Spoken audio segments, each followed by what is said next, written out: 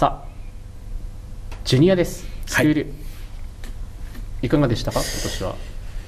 えーっとまあ、今シーズンは、うん。えーっとちょっと昨シーズンと一気にこうテイストを変えて、うんうんこう今まで3時間の枠を、うん。低学年クラス高学年クラスの1時間半で分けてたんですよね。はい。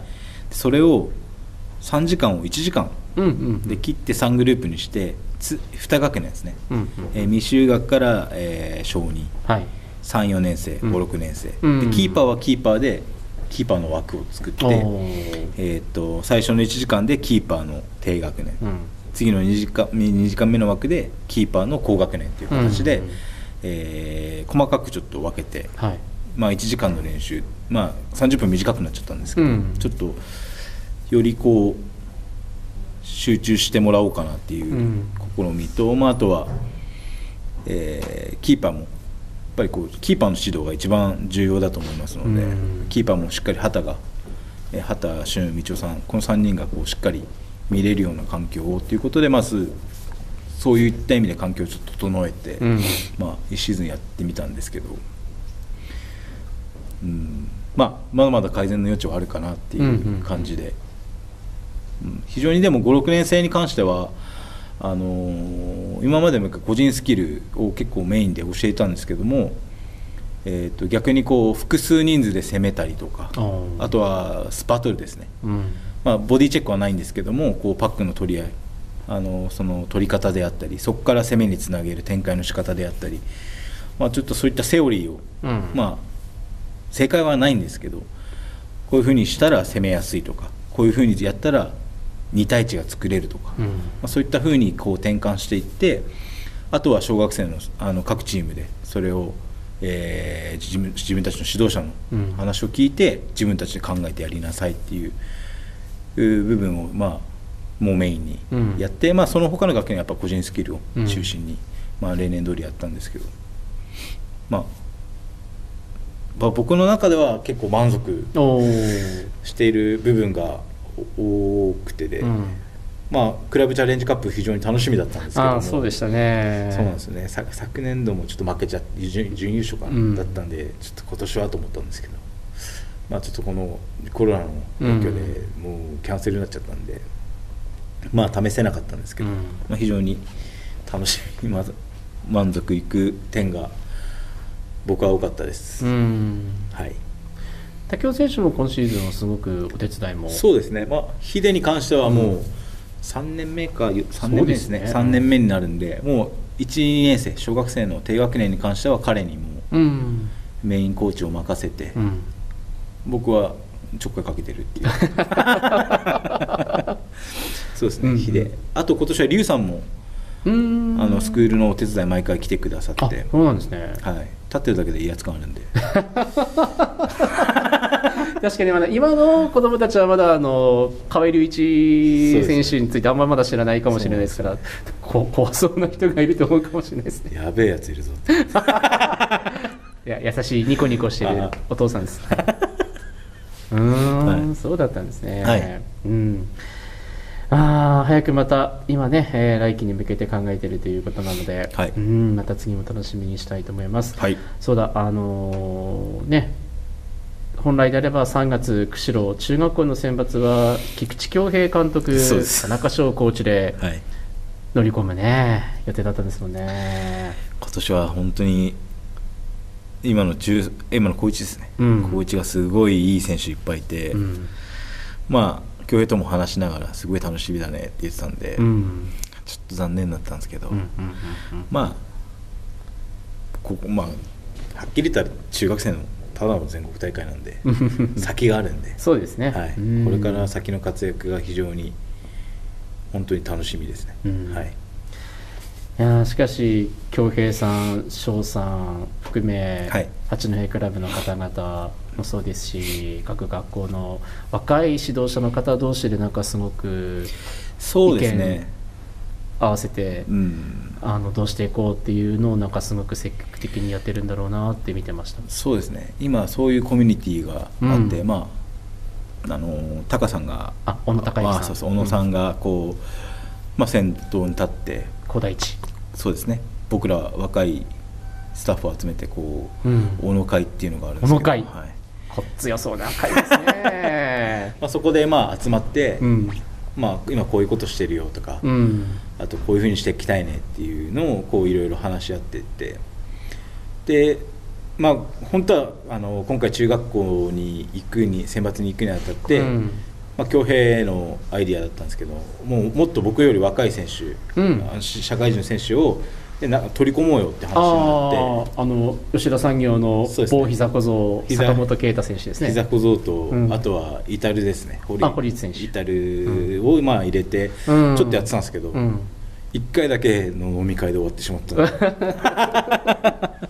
まあでもそういったコミュニティも作ってうん。そうですね意見交換であったりあまあ、僕の立場がこうそういった海外のその指導メニューとか、うん。そういうのを結構見見やすいっていうかこう目にしやすい環境にいるので、ーうん。そういったものをまあこうしっかりしっかりというか市全体でこううまくいければのいいのかなっていうふうにはうん。思います、はい。なるほど。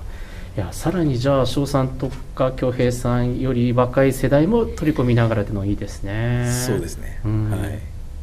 いやいや本当ね今全体が底上げするためにもそういう取り組みが大事かと思います。わ、はい。かりました。さあ、えー次のお題でございます。ホームゲームの演出。はい。はい、えーテクノライスパーク八戸 DJ ショー。はい。MC 両キングのコンビで今年もワイワイガヤガヤとホームゲームの運営をやらさせていただきました。はい。はい。いかがでしたか？ああ厳しかったですね。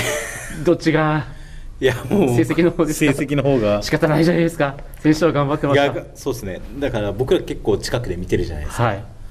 でこう目に見えないこうバトルがあったりとかして、あはいはい必死さが伝わるポジ、まあ、皆さん伝わってると思うんですけど、うん。より目につく、うん。まあ、小泉さんのこの声もあれですよね。なんかこうまあどこだかな。はいデメオンかどっかに負けた時に、何かありましたっけ、ね、負けてないと思うみたいなあああれか。PS ですね。あの一旦止まったように見えた PS の後ですね。えだからなんかそういうのも本当に本当こうファンを代弁してるというか。いやすいません。デスいや全然いいんですよ。だだからやっぱりこう、うん、見てて悔しいっていうかこう悔しいじゃないですか。かかわいそうになってくるぐらい 感じでしたよね、うん。選手は本当ねそうですね。怪我抱えながら頑張ってましたからね。はい。まあでも1月のバックス戦3連戦。はい。1戦目で待望の今季初勝利。あホームでの今季初勝利、はい。えー次の日はまさかの0-7、はい。えー奈落の底に叩き落とされて、はいしかし次の試合5対21569人。いやーやっぱこの3連戦すごかったですね。本当に本当にそうですね。あの3連戦がシーズンのホームゲームラストですよね、うんそうです。でよかったなって思いうました、ん濃縮されてましたねなんかね、はい。この3日間ね。そうですね。まあ本当に悔しかった1年の鬱憤がうん。まあ全部やってくれたな選手みたいな感じでしたよね。うん、はいいや節目節目で橋本道夫選手がですねうこうマスクかぶるとですね、んはい。まあ、あの畑選手、し古川選手もすごいんですけれど、なんか道夫さん出ると、なんかこう、場内の空気もなんか変わるって感じしません？そうですね。僕ら見てて。ううんん思いますね、なんかやってくれそうな気がするんですよね道夫さん。すごいですよね、うん。そういうのを思わせる選手って。はい。そうですね、うん。なんかこう連敗してて道夫さん出てまた連敗したらえもう勝てねえって逆に思っちゃうこともありますけど。最そうなんですよね、3連戦の最終戦に登場してくるイメージ率がが、高いです そうでしたね。はい。いやーでもなかなか今季も曲のチョイスはいや落ち込まないでください。いやいろいろ怒られましたよ。いえいえいえ。さあ、はい。えーフラット八戸になります。はいこの間あのマスコミ、まあ、もう一般公開されてますけど、マスコミ向けの取材の機会があって演出すごそうですね。すごそうですね。というかすごいですね。そうですね。照明音響。うん。うん。あのこれから多分もっと増やしていけるんだろうかな、入れいけるんだろうなっていうふうには思ってるんですけど、今上からプロジェクターが4つぐらい吊るされてるのでああそうもう早くも。多分吊るされてあれプロジェクターだと思うんですけど、うん。まあ、あれを見る限りリンクに映せるうん。技術もあるだろうしあとな何が一番いいって iPad なんですよね。タブレット1台で操作できちゃう。だもう肩掛けになってて タブレット見ました？見ました見ました。もうこうこれを持ったままうん。押せると、僕これなんでもうタブレットタブレットショーなんです。にもうどこにでも行けるっていう。そう板付いてなくてもできちゃうってすごくないですか？そうなんですよね。びっくりしました。だから僕もうこれ下手したら来年こう、はい。まあ、僕西武プリあの西武がすごい好きだったんですけど、うん西武の攻め側でこう試合を見るっていうあのアジアリーグの。はいはいはい。西武のアタッキング動画が変われば、うん。僕も席移動するっていうのあをやってたんですけど、はちょ僕それを やりたいね。いやできますよね。できます。優先じゃないですかはい。うん。あの2ピリに、はいもう腹立つんですけど2ピリによく点数入れるんですよ。そう。2ピリであっち側で。そうなんですよ。いやもっと見させてよみたいな。結局なんかう見れないから。うん？うん？って感じですよでなんか大久保さんがビデオ編集したやつうん。見れるんですけど、はい。あのピリオドごとの、うん。試合終わったらそれが送られてくるんでそれを見てから寝るっていう こう目に焼き付けたいんですね。うんうんうん。ちょっと僕は来年こう移動しながら 我々どこにいるんでしょうね。どこがいいですか？固定席ないってことはいいことですもんね。どうしましょうね。動きますか？そ我々。動きますか？動きますか？いいですよ。小泉さんももうマイクもワイヤレスなんで。そうでした。うん。だから観客席に座っててください。いやだってねあの今新田ですとリンクあって通路あって客席ですけど、はい。その通路がないんで。そうですねどうしましょう？どこにいましょうね？ちょっと考え考まましょうか、うん。は移動しても全移動しながらでもあそこのコンコース2階のコンコースとかはい。上から見れるうん。のも新鮮ですよね、そうですね。こう縦に見る感じです、あそこに卓作って、うん。そっか。いろんなことができそうですね。そうですね。いろんなとこに入れると思いますね。うんちょっとこれは来年楽しみに。楽しみにして。はい。したいと思います、はい。タブレットショー。はい